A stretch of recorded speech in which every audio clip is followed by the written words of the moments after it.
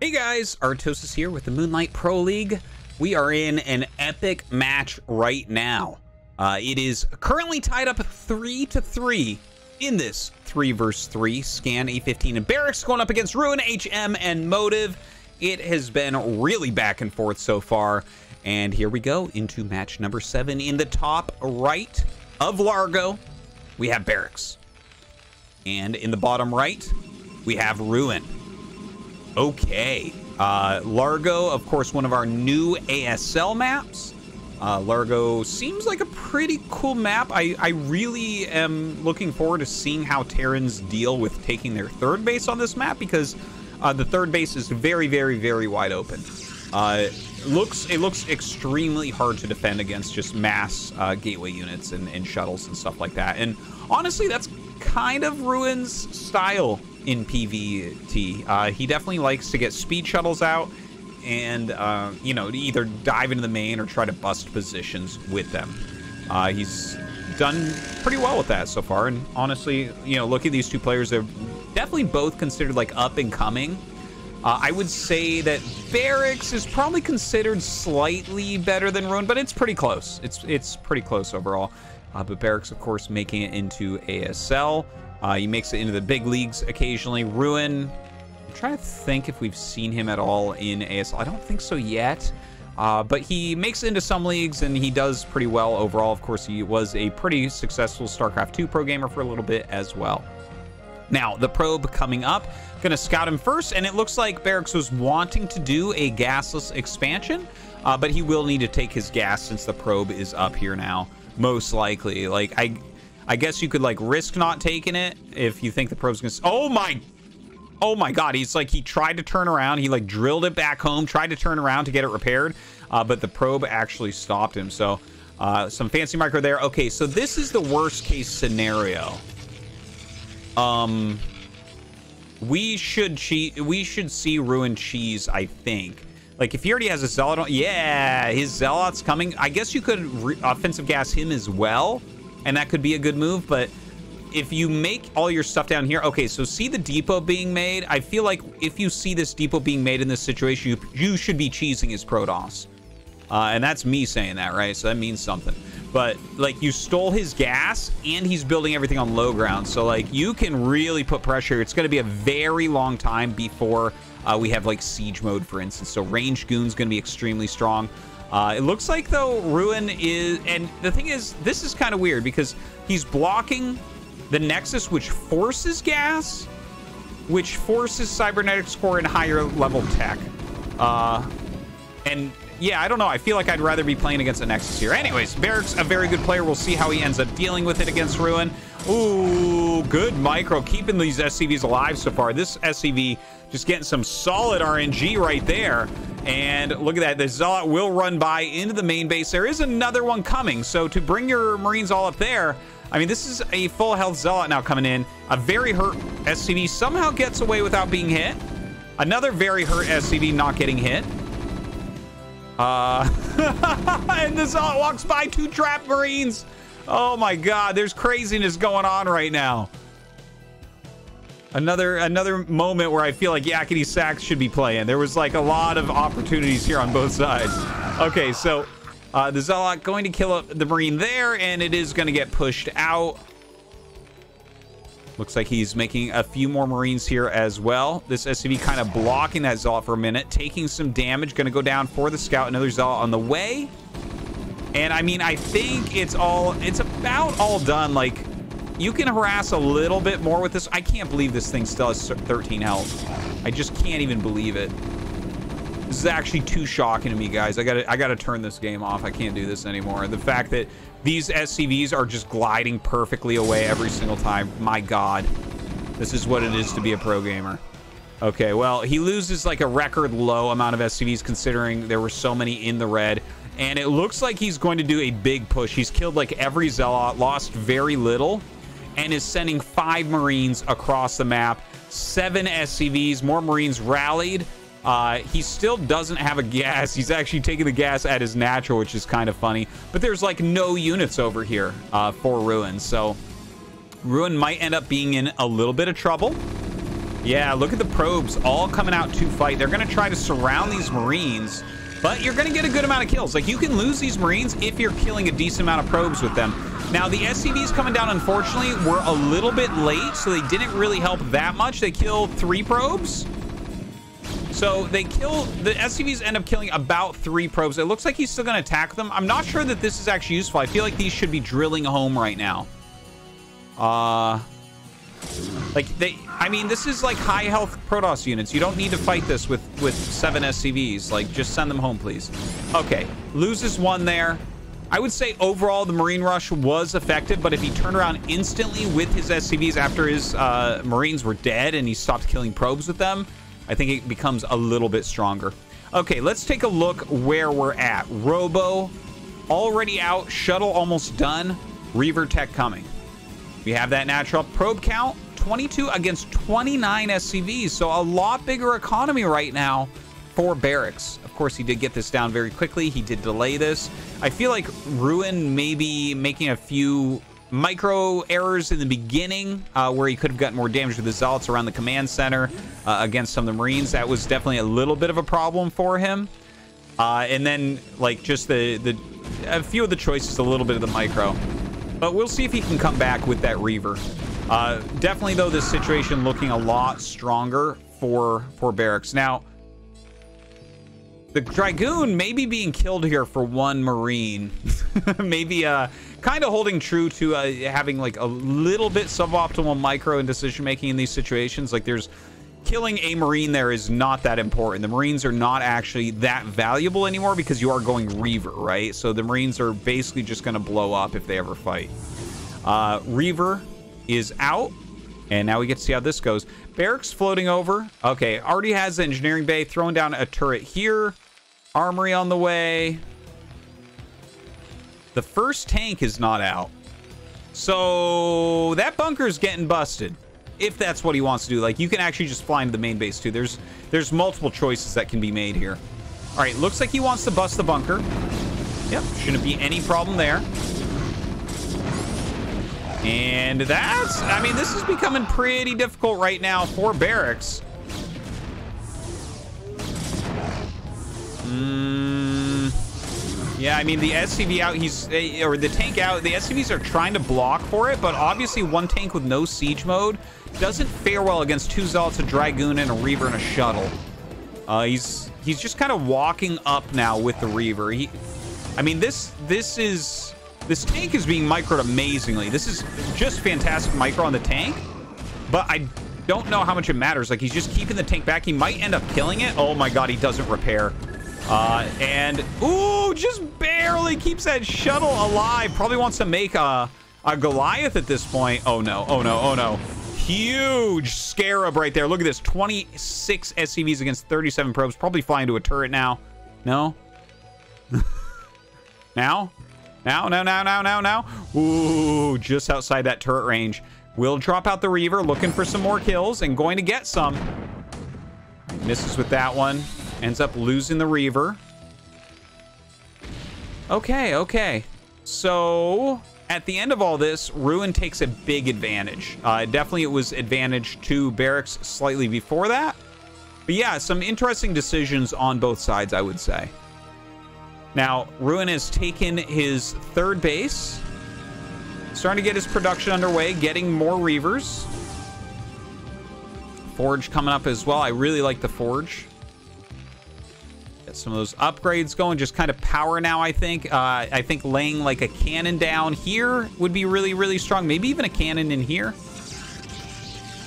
And of course, keeping the Reavers alive is going to be very important because it, like he saw everything that was going on. He saw two factories basically and turrets. So if you just kind of have two Reavers in a shuttle and just the random smattering of gateway units you're making, it's going to be really difficult for uh, for Terran to really push into that at all, right? Like he's not going to be able to really pressure you. So from here, I think we're going to have to see Barracks go ahead and and think about taking a third um, yeah, but it's going to be slow, right? Like, the uh, Ruin's going to macro up really quickly now. He's on 51 workers. He's got four gates. It, yeah, I, I really don't like this for Barracks at all in this spot. Everything looks like so disjointed for him. Only 40 workers. We're at 10 minutes right now. He's not even halfway on his armory upgrade. Okay, actually, I mean, a pretty big committal in here. He's getting some decent hits, though, and with no real anti-air, can just get out of there with the Reaver as well. Oh, man, even picking off uh, that SCV that was making the turret. Barracks starting to push out. I wonder what Barracks' plan is going to be.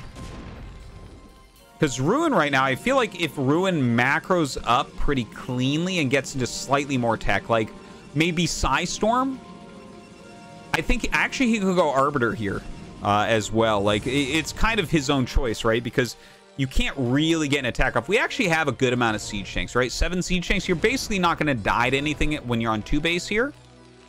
Uh, there's the starport, so he's going to continue to upgrade uh, forward. It is a little bit slow timed out to get that 2-1 started.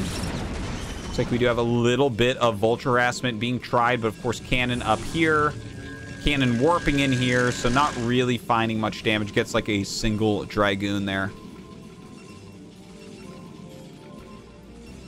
Just kind of keeping his Dragoons placed in good locations, spreading out some observers here as well on the different paths, seeing like a single Vulture run by.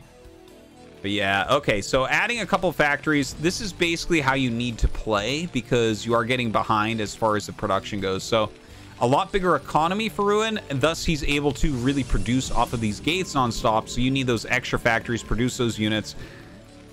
There's not going to be a timing attack, though, for Barracks, I don't think. I think what he's going to need to do is like Mega Turtle his third base and just try to get up to like a maxed out supply. Hope that Ruin runs into his siege tank lines a few times because at this point, Ruin has such an edge. Like he has a lot more supply. He has a lot more army supply that yeah, it's just it's it would be very difficult for barracks to attack anytime soon. So we could see some additional greed coming out of Ruin, no doubt.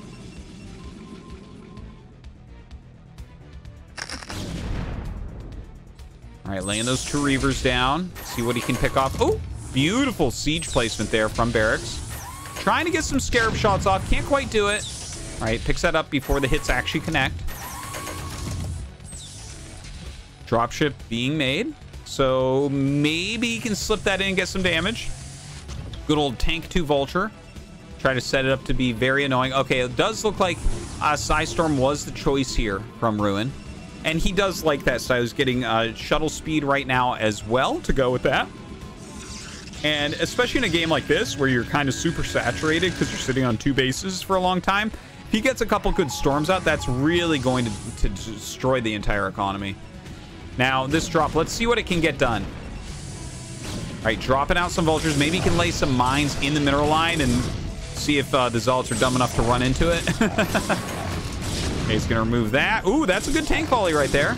Six kills, 11 kills. I mean, pretty decent, pretty decent. Can't just shrug at 11 probe kills, but I mean, losing a siege tank, two vultures. He shows that he has the drop ship, so uh, we should see uh, some additional cannons being added, like one here. Yeah, and honestly, I could see him adding like one more up here, maybe maybe even there. I don't know. Well, he throws the forge down, but either way, uh, looks like Ruin taking top left and bottom left. Yeah, dude. It, eh, honestly, you can just kind of see how difficult a situation this is becoming. Uh, like, PvP, a general rule is you can't, on a four-player map, let Protoss get both other mains because it's just too easy to rebuild everything at that point. Uh, they can build gateways in every other main base and just kind of like stop you from ever stop you from ever um, like stopping their production, which is a lot of times how you win when you're a little bit behind. Okay, so the Psystorm drop comes in, but actually was dodged reasonably well. 62 uh, SCVs remain, which is enough. You can see he's kind of super turtle pushing into his third base, which makes a lot of sense. This is all unbuildable terrain, so he can't make any turrets in that area, which is a little bit problematic for him. Uh, this area definitely prime for dropping in if he gets multiple speed shuttles up here. So just kind of utilizing these Reavers, though. Slowing this down as much as he can. Gonna remove some of those Scarabs. Hilarious to watch a dudded Scarab not kill a mine. Okay, starts to come in now. What is, I don't know about that. Yeah, I don't think that there's really any any need of a move like that. Like, I mean, slowing this base down is good, but honestly, Ruin can just macro up right now, right? He's got like 1,300 minerals. He's got tons of the math. Uh, and if he just maxes out and attacks downhill, that's going to be uh, tough enough in and of itself to hold on against. All right, looks like he is going to try to bust in here. The Zealot's running forward. Let's see. Oh, those Psy Storms just ridiculous. And the tank's going to get taken out. A lot of the SCVs getting taken out as well. Still an okay SCV count. So that's not the end of the world. But is he going to end up losing this command center? Another storm goes down. Not really targeting very well. Okay, yeah, he should definitely dive upon that. You do not want to let that live. Just target it. Just target it. Takes a real long time to target it, and all of his units that shoot up get killed. Okay, this... I mean, Ruin is a great player, but this is extremely, extremely sloppy. He could have killed this command center so easily. Literally, if he right-clicks it at all, it ends up dying. So, Barracks keeping the hope alive uh, by wiping out that army. He's kept most of his SCVs alive, which is really, really good. Continuing to push forward. He does have 3-2 on the way right now. Ruin just kind of flying around.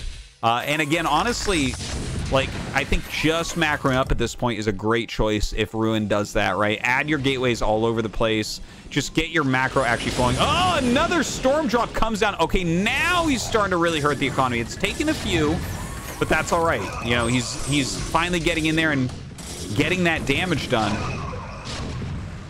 47 workers left. The main is almost dry, so it's still like kind of an okay probe count, or SCV count rather. Uh, and of course, you don't want to be spending more money on SCVs right now uh, as as barracks. Let's take a look at what Ruin is up to. He is adding a gate here. He's adding three gates in the top left.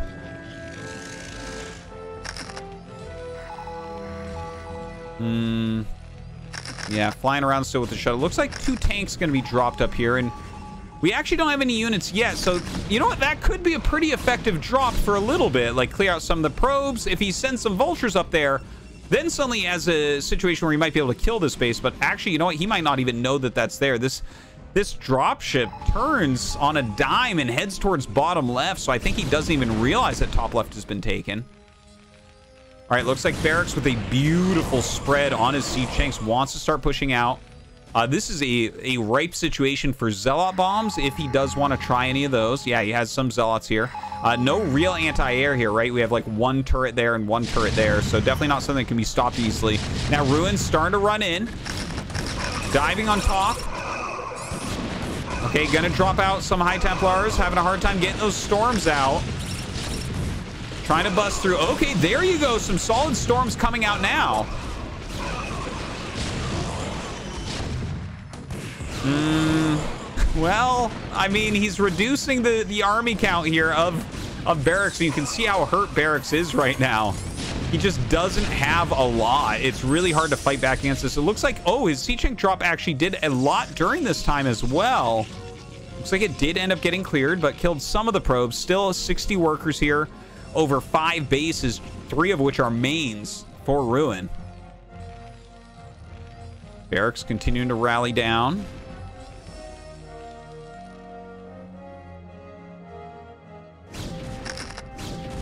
Hmm.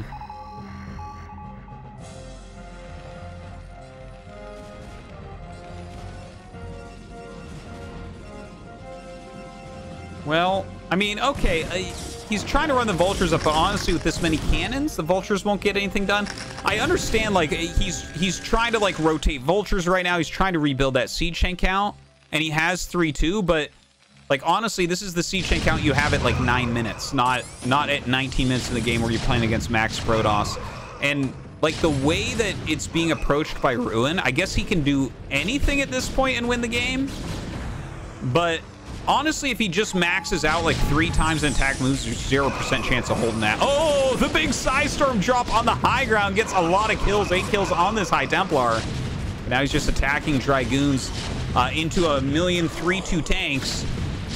He's going to have to pull those back. 34 SCVs only here for Barracks. Barracks trying to push up this hill. Trying to make something happen as he floats a command center over. Looks like that was his main CC going for that fourth base now. All right, more reinforcements coming out. 10 zealots at a time. Kind of funny watching this game, honestly. Like, I think both these pros are really good, but Ruin is just not making finishing moves here. He's like not maxing out for any attacks. He's like, all right, here we go. This is the finishing move. Dives out, throwing down a Psi Storm. Plenty of units coming down. The Siege tanks are just so reduced in size now. Very few Zealots, though. It's mostly a Dragoon-based army. Zealots running up on top of these tanks. And, I mean, okay, that's going to be that. GG. Ruin takes on Barrack.